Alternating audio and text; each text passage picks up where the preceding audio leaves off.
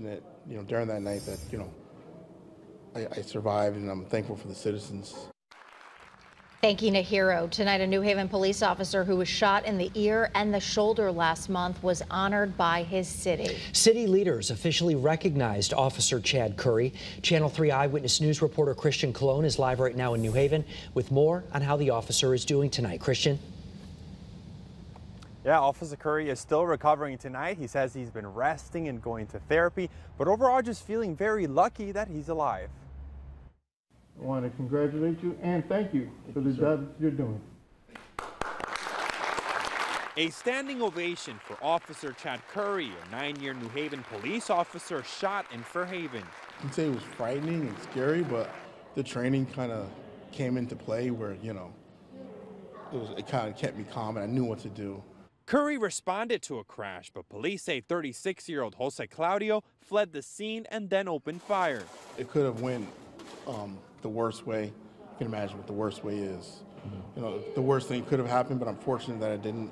Dash cam video released by police shows that intense moment when the bullets flew towards him. It went through his ear and embedded back here. Right. Some of it, some of it stayed in, and some of it left. Some of it grazed. Curry says he's felt the love from his community, a city that tonight thanks him for putting his life in harm's way for the benefit of others. For Chief Karl Jacobson, it was one of the worst calls he's gotten. And I just right immediately began to pray for Chad's health.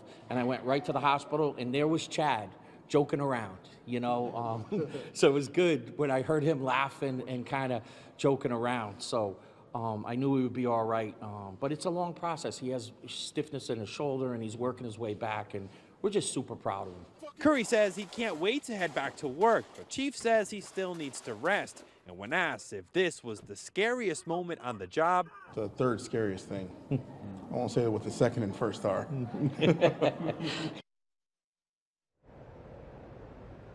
As for the charges, when it comes to the suspect, he is facing several charges, including attempting to commit murder, as well as, well as several gun charges. He is being held on a $1.5 million bond and has a court hearing on December 8th. In New Haven tonight, Christian Colon, Channel 3 Eyewitness News. Christian, thank you very